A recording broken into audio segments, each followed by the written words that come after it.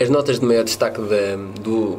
das jornadas do último fim de semana eh, desportivo vão eh, necessariamente para as decisões que ainda estavam em aberto no escalão de iniciados no campeonato eh, distrital. Contudo, também se, se registaram progressos nos, nos campeonatos nacionais, onde quer nos júniores, juvenis e iniciados, caminhamos a passos largos para o fim das, das fases decisivas e, e é, é fases essas que, que irão trazer o destino das equipas do Distrito de Viseu no futuro, ou melhor, na, na, na próxima época desportiva, eh, para percebermos então em que, em que divisão é que irão alinhar então em 2014-2015. Se conseguem eh, de alguma forma eh, a permanência nos campeonatos nacionais ou se por outro lado de uma forma mais negativa se retornam então aos campeonatos distritais da Associação de Futebol de Viseu, ainda mesmo no futebol de 7, com o fim das, das primeiras fases de sub-12 e sub-10, também só tivemos eh, mais uma jornada quer dos sub-13, quer dos sub-11. Nos eh, nacionais de, de júniores, começando pela fase de promoção, onde está a equipa do Tondela, a equipa essa que já afastada de, do objetivo primordial que seria a subida de divisão, a equipa de Tondela encerrou a participação nos jogos caseiros. E, e recebendo o Fremont então nesse último jogo em casa somou eh, a sua sétima derrota nesta competição. Eh, ainda que pela margem mínima um resultado que inclusive garantiu a subida de divisão à equipa do Fremont mas que também deixa alguma algum amargo de boca porque era mais uma oportunidade e se não a, a grande oportunidade para, para a equipa dos Júniores do Tondela se despedir dos seus adeptos com uma imagem positiva. Eh, situação essa que não aconteceu. A equipa de Tondela continua no quinto lugar com apenas 4 pontos e, e resta apenas lutar pela manutenção desse quinto posto na última jornada em casa do Feirense. Na fase de manutenção, eh, uma jornada que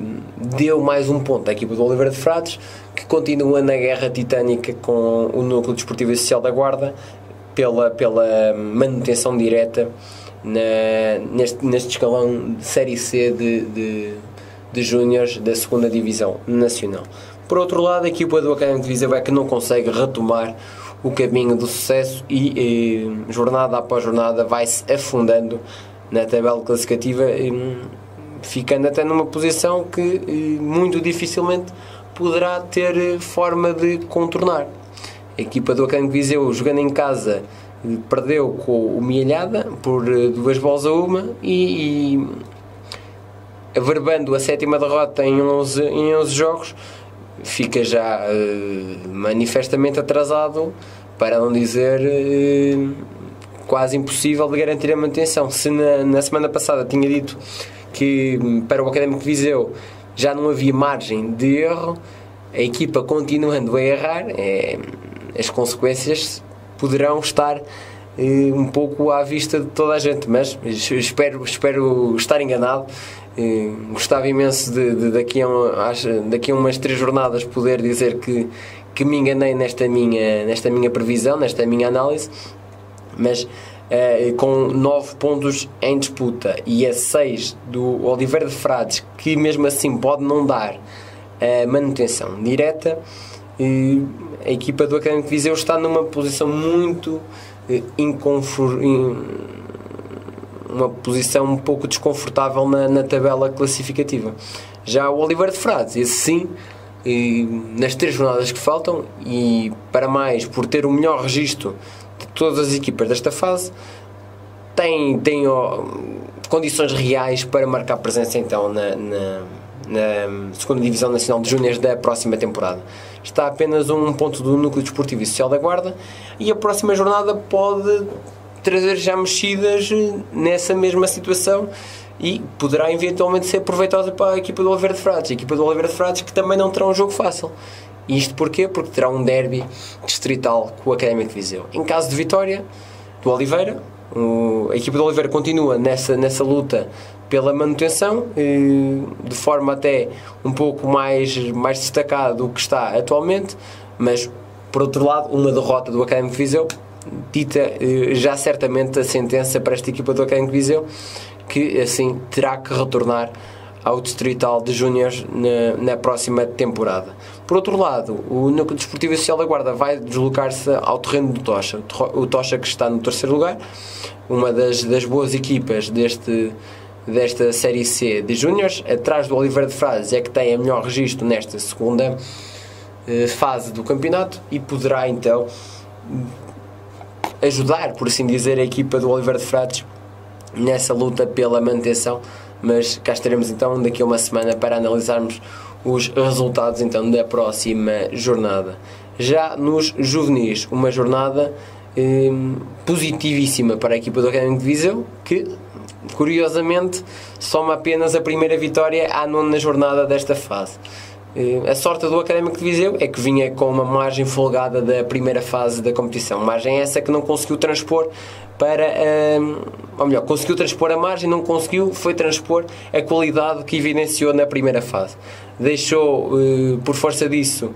que alguns resultados menos positivos tomassem conta do trajeto da equipa nesta segunda fase, mas eh, fruto também desse conforto atingido na primeira, segue tranquilamente no segundo lugar, sendo que as equipas vão eh, jornada após jornada, e estou a falar nomeadamente da Naval e do Marinhense, somando pontos atrás de pontos e vão se aproximando dos lugares de manutenção. Eh,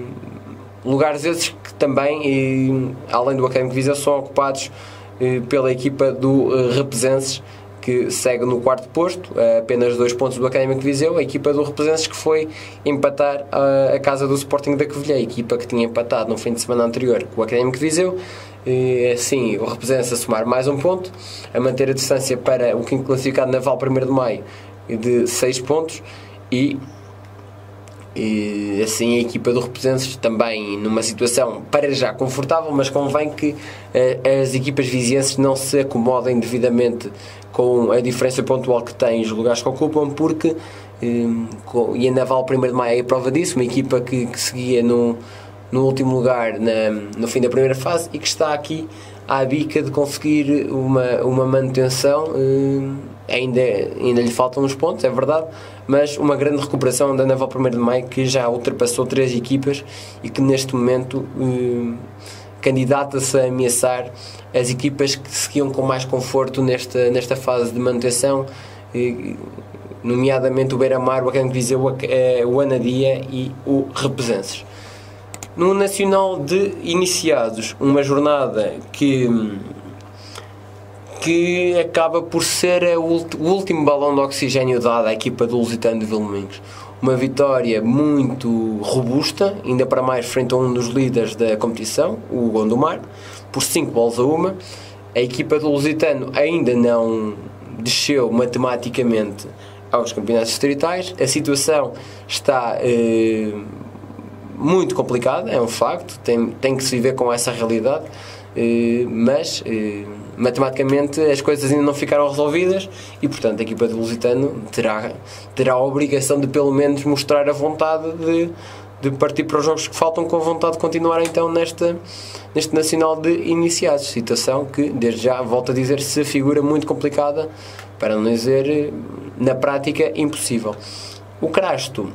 equipa que já, já, já se viu despromovida aos campeonatos distritais da próxima época, em casa também não conseguiu bater o Avanca e no jogo grande da jornada o Académico de Viseu recebia os representantes. Se os representantes já têm a manutenção garantida e então estão confortáveis para esta fase de manutenção, a equipa do Académico de Viseu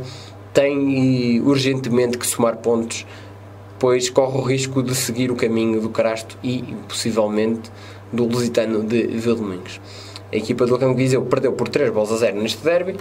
eh, jogando em casa eh, e, viu-se ultrapassada pela equipa de Taboeira que foi vencer eh, o líder sanjoanense.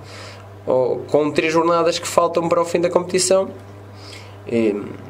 a equipa do, dos iniciados do Académico está um pouco mais como a sua equipa de júniores. Sem margem de erro nenhuma e terão eh, forçosamente, quer um escalão, quer outro, que, que averbar eh, o maior número de vitórias possível nos, nas últimas jornadas, se possível, vencer todos os jogos que faltam para aí de uma forma expressiva e clara garantirem a manutenção nos respectivos escalões.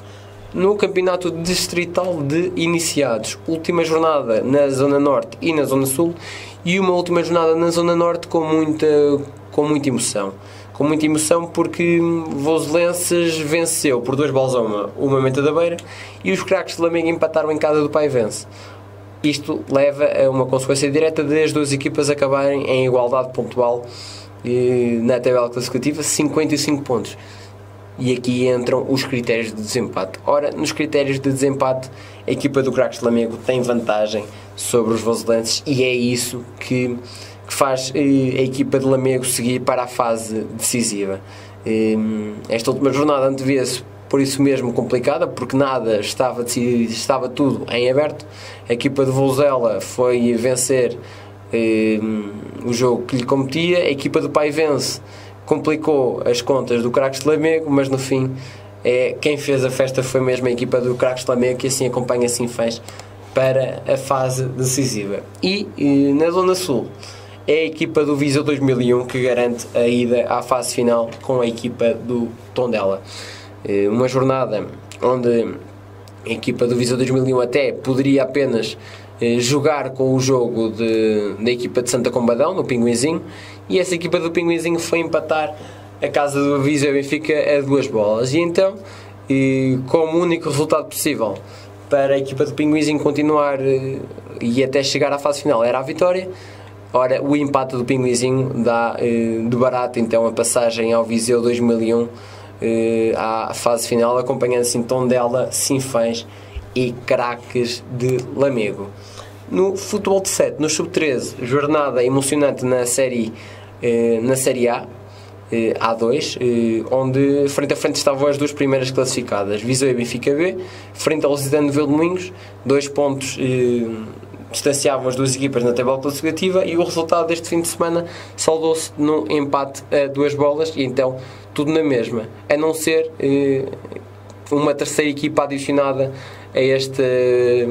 a estas duas para eh, a discussão do primeiro lugar. E essa equipa é o Val de Açores, que foi vencer, ou melhor, que venceu em sua casa o Cadenas de Senhorim por 9 bolas a uma. E, e, a diferença pontual do primeiro para o terceiro são pontos, eh, são 3 pontos, perdão, e, e então é duas jornadas do FI, Viseu Benfica, B, Lusitano de Vilmoinhos e Val Açores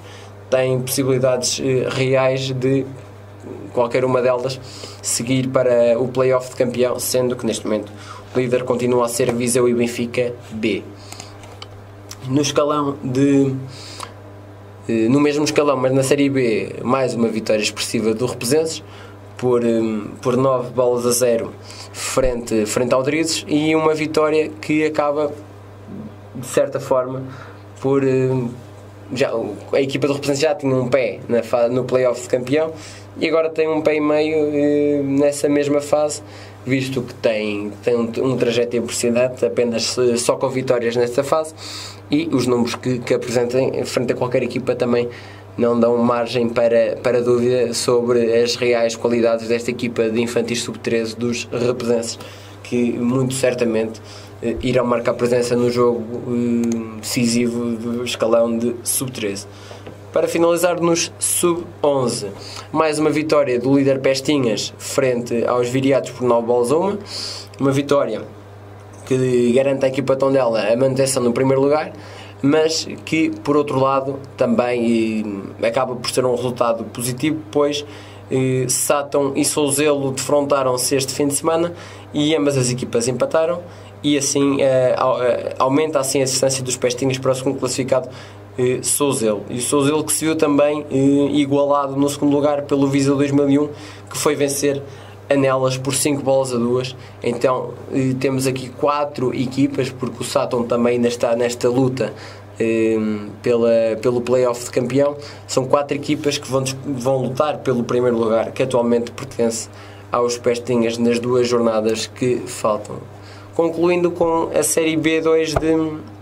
de Sub-11. Mais uma vitória da equipa dos representantes por 3 gols a 0 frente ao Dinamo da Estação B este fim de semana. E, contudo, ainda não pode festejar a ida ao playoff de campeão esta equipa do Represenses, pois o Crasto tem um jogo em atraso frente ao mesmo Dinamo da Estação B e, e matematicamente ainda poderá atingir os 25 pontos. Neste, neste momento, Represenses tem 24, mas também na sequência do que, do que sucede no Sub-13, Represenses já com um pé e meio na, no playoff de campeão do escalão e certamente marcará presença então nessa fase decisiva. Foi assim um, um olhar sobre a curta, as curtas competições, ou melhor, as poucas competições que, que se desenrolaram este, este fim de semana, mas contudo estamos a caminhar cada vez a passos largos para o fim de, dos diversos campeonatos e como tal as reais decisões estão, estão mesmo, mesmo a chegar. Os playoffs de, de, de campeão nos júniores juvenis iniciados estão prestes a arrancar e, e, mesmo no futebol de 7 também tudo ainda por, por decidir e, e a emoção certamente que vai crescer nas, próximos, nas próximas semanas com o fim de abril e inícios de maio que certamente será o mês de todas as decisões. Um abraço a todo o auditório e então até à próxima segunda-feira.